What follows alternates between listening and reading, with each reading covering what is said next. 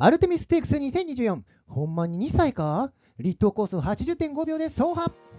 皆様こんばんは。加速情報競馬データ検証の野球でございます。本日は5分でわかる外球データヒントいたしましてアルテミステークス2024をチェックしていきたいと思います。なおですね今回もアルテミステークス出走力は解説ということでね皆さんと一緒に見ていきたいと思います。それではこちらが本日のメニューでございます。まず1つ目、アルテミステークス出走力の確認ということでございましてですね、まあね、まだ実績はなくてですね、キャリア1000とか2000の馬なんですけれども、まあ、今後ね、大物になってくるような馬もいるかもしれませんので、皆さんとね、見ていきたいなと思いますし、またね、なんか、あの、2歳戦でよく見ててですね、この馬ちょっと面白いかもしれないみたいなことありましたらですね、ぜひコメント欄とかにいただけると嬉しいなと思っております。そして2つ目なんですけれども、過去のアルテミステークス外境傾向を学ぶということでございましてですね、過去5年間どんな傾向になっているのかをまとめてみました。そして3つ目でございます。今年はどんな馬を狙うということでございましてですね、過去の高級から今年狙っておく外級馬のポイントを押さえておきたいなと思っております。なおですね、今回の動画でまとめましたデータガイドに関しましては、週末出馬が確定いたしましたレース前日に LINE にてお送りさせております。ちょっとね、2歳戦なので追い切りとかですね、あとまあ乗ったジョッキーの感触とか、旧車のコメントとかも大事かなと思いますのでね、一緒に添えながら LINE 配信しようと思っております。下の概要欄から1秒登録できますので、ぜひ登録してお待ちいただければと思います。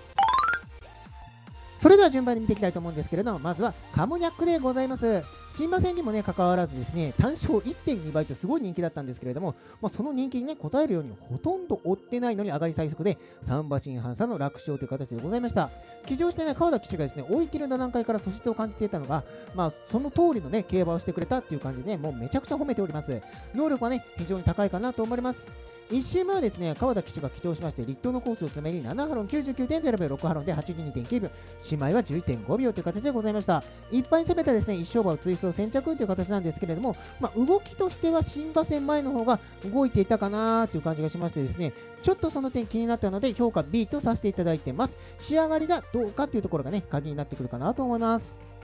そしてこちら、湘南ザナドゥでございます。この馬で S でいきたいなと思います。というのはですね、ちょっと動きがすごいということでございましてですね、まあ、新馬戦で2番手から最速の上がりかも0.1秒差の2着ということでございましてですね、まあ、これは相手が強すぎて、逃げたのにね、同じ上がりを使ってましたので、まあ、これは追いつかないという話なんですけれども、次戦はですね、2番手から先頭に立っての最速の上がり、楽に突き放しての5馬身差の干渉でございました。騎乗した池添決がですね、もうポテンシャルやバネは素晴らしいものがあると言ってね、もう素質を評価してるんですけれども、1周前、池添騎手が騎乗してリットのコースを積み、80.5秒、島より11.3秒という形でございましてですね、一杯に攻めた一勝負を大きく追走しての先着、もう自己ベスト、前回の走るを大きく更新して、もう2歳とは思えないようなね、時計を出しております。ちょっとね、この馬ね、さらに成長してきたんじゃないかなという感じがしておりましてですね、もう期待も込めてですね、この馬を S とさせていただきました。そしてこちら、四方リニンでございます。新馬戦はですね、先行して最速の上がりを使うも0.1秒差の2着引き続きね、ルミエル騎士が騎乗した2戦目も最速の上がりという形でございます。まあ、ここはね、きっちり勝利して勝ち上がってきましたけれども、騎乗したルミエル騎士がですね、前半一生懸命になりすぎていたと話しておりましてですね、まあ、この辺りの改善が必須になってくるかなと思います。1周前は石上騎士が騎乗しまして、日本のコースを馬だに82.3秒、姉妹は11.2秒という形でございましてですね、馬だりのアーバンシックに0.5秒先行しての導入という形でございます。馬なりでも加速は良さそうかなという感じがします。評価としてはちょっと現状 C という形でございましてですね、まあ、課題は我慢ができるかどうかというところかなと思っております。そしてこちら、ブラウンラチェットというまでございます。新馬戦はですね、中山 1800m 戦でございましてですね、新馬戦でも1.2番と、もうすごい単勝オッズでございました。先行してね、上がり最速で勝利しましてですね、ルメール騎手が非常に褒めておりですね、ずっと冷静に走って、最後もだんだんと加速してくれて、これから楽しみと、反応も早くてですね、ギアチェンジもできる完成度の高いタイプかなと思います。1周前ですね、日本のコース、まだに82.7秒、新米は11.3秒という形でございましてですね、青線馬2頭を大きく追走しての導入、前走よりも時を詰めてですね、加速もスムーズなんじゃないかなという感じがしております。評価としては、え、現状として、ね、完成度高いんじゃないかなというふうに見ております。そしてこちら、マイエレメントという馬でございます。新馬戦はですね、新潟 1600m 戦で5番手から運んでの上がり2位の33.3秒の足で勝利しました。2着とはね、2馬身半差でございましたけれども、さらに1馬身ほど後ろにいた4着馬がですね、次戦0.1秒差の2着という形でございましてですね、まあ、メンバー的には悪くなかったかなという感じがします。福永調教師がですね、ゲートや口向きに課題があると話しておりますので、まあ、そのあたりがね、どこまで改善するかなというところかなというのと、東京のね、坂でもしっかり足を使ってくれるかというところがね、ポイントになってくるかなと思います。1週前は岩田未来騎手が起乗しまして、リフトのコースを一般に80.2秒、姉妹は一般に11.2秒という形でございます。時計はね、かなり詰めてまして、せめてのですね、姉妹も高度計という感じでございます。評価としては B、まあ、東京に変わってどうなるのかというところがね、鍵になってくるのかなと思っております。それではアルテミステークス過去5年間の傾向を見ていきたいと思います。まずは2019年でございます。1着はリアメリア、2着はサンクティラエル、3着はビッグクイーンバイオでございました。今年は1着と2着は外級仕上げとなっております。そしてこちら、アルテミステークス2020年の傾向でございます。1着はソダシ、2着はククナ、3着はテンハッピーローズでございました。今年は2着のククナが外級仕上げとなっております。そしてこちら、アルテミステークス2021年の傾向でございます。1着はサークルオブライフ、2着はベルクレスタ、3着はシゲル岩井酒でございました。今年は2着のベルクレスタが外級仕上げとなっております。そしてこちら、アルテミステークス2022年の傾向でございます。1着はラベル、2着はリバティアイランド、3着はアリスベルトでございました。今年は1着の2着は外級仕上げとなっております。そしてこちら、アルテミステークス2023年の傾向でございます。1着はケルビニア、2着はサビラ、3着はスティルブルーでございました。今年は3頭すべて外級仕上げとなっております。